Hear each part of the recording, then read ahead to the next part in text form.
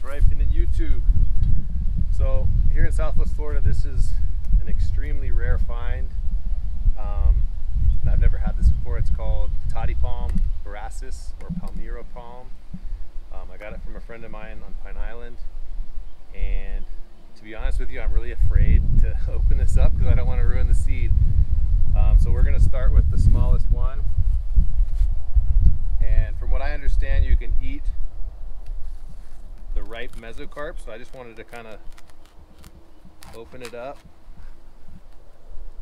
The reason I'm scared to do this is, like I said, it's a rare palm, at least in this country, and it takes a very long time to fruit. This, this came off of a palm tree that was about 20 years old. There were 10 trees planted, and this is the first one with female flowers and fruit. So he had other ones that were that made male flowers, and those are used to uh, collect the the sap for uh, like as a beverage, or you can ferment it.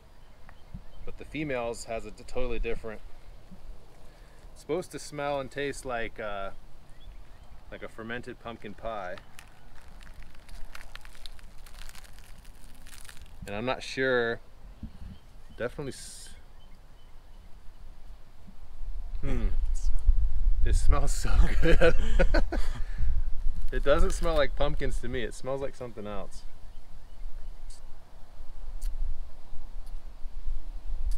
It's like there's a little bit of astringency, but it's like melon and kind of lychee and papaya.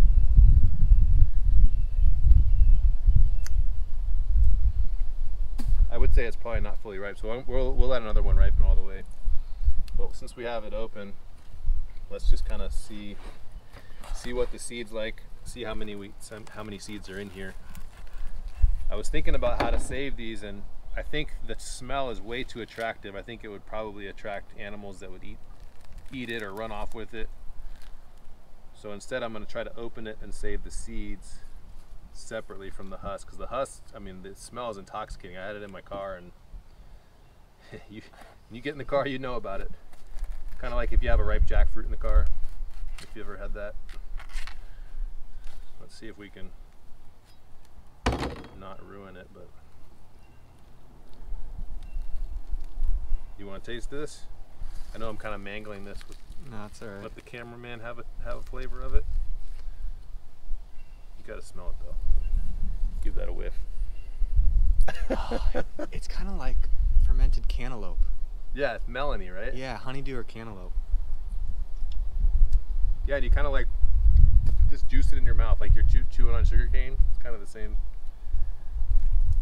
Pretty good. The video we were watching YouTube videos about this, and apparently it'll it'll give you the run, so you don't want to eat, eat too much of it. Ugh.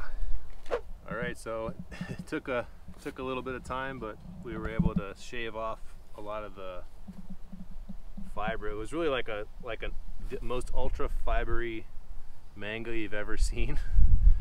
Um, but I wanted to have a relatively clean seed, so I've just been kind of washing it in water and scrubbing the stuff off. But um, the main idea is that I wanted a, a, seed that I can put in my nursery that doesn't going to attract rats. So hopefully this will I can clean this out and it won't have an, an, an enticing aroma to bring the rats in to destroy these seeds because they're hard to get.